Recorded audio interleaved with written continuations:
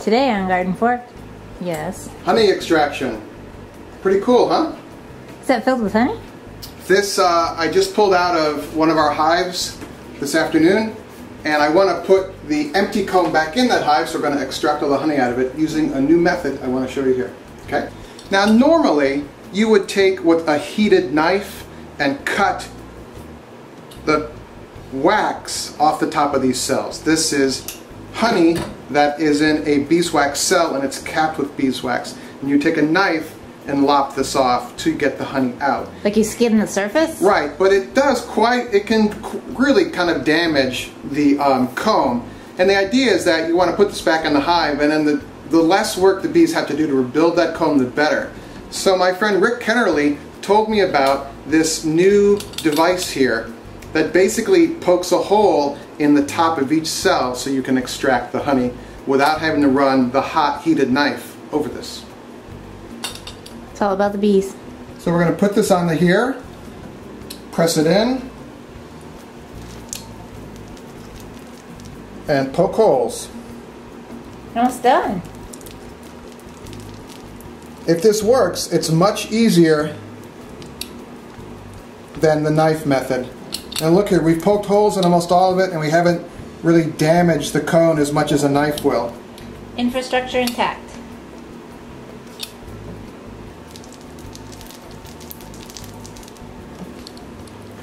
How hard are you pressing? Not very hard. I don't want to I don't want to crush the honeycomb.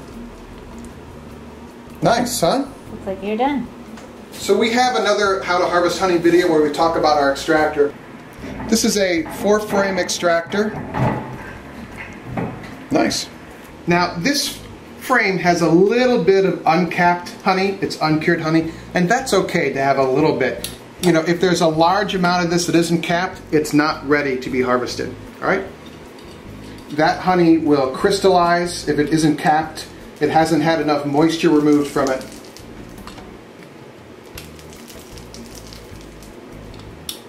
That's pretty cool. Two down, two to go. Has this been a good honey year for you? Uh, this is our first honey of the year. So late June, that's pretty good for honey um, in Connecticut, where we are up in the icebox here. Where it was snowing in May. Yeah. All right, our frames are in.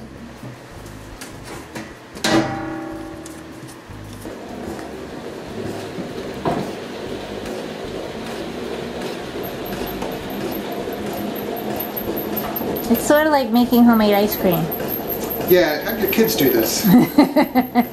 now this is, um, you just keep in mind that the honey will get everywhere, so we cover the furniture, we cover the floor. We use, uh, actually shower curtain liners are kind of heavy duty and you can rewash them.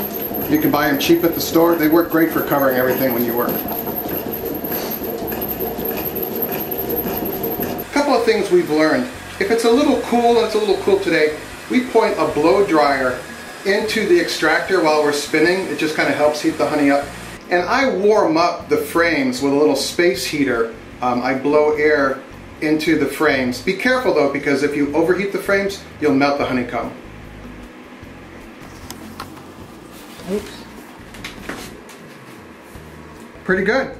So you want to have kind of a soft touch with the roller. If it doesn't work the first time, take the frames out of your extractor and roll them again. But don't ring into it because um, you could crush the comb and that's kind of a waste. Kind of Counterproductive. Yeah. Let's see how this stuff looks coming out the tap.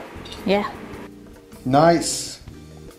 What's really cool here is there isn't a lot of honeycomb in the honey because when you use the hot wax knife, you're, you're cutting a lot of comb and it gets in the honey when it's extracted. This is extremely clear. And this is a, like a early summer honey, so it's really kind of yellowy, light colored. Do you know what kind of uh, honey that would be? No, I don't. I don't. I don't really know what flowers they're pulling from, but I'll have to research that. But this looks great. This works really well. Um, I really like this as opposed to the hot wax knife. Oh, oh, Cleaner too. Who's that for? it's for me.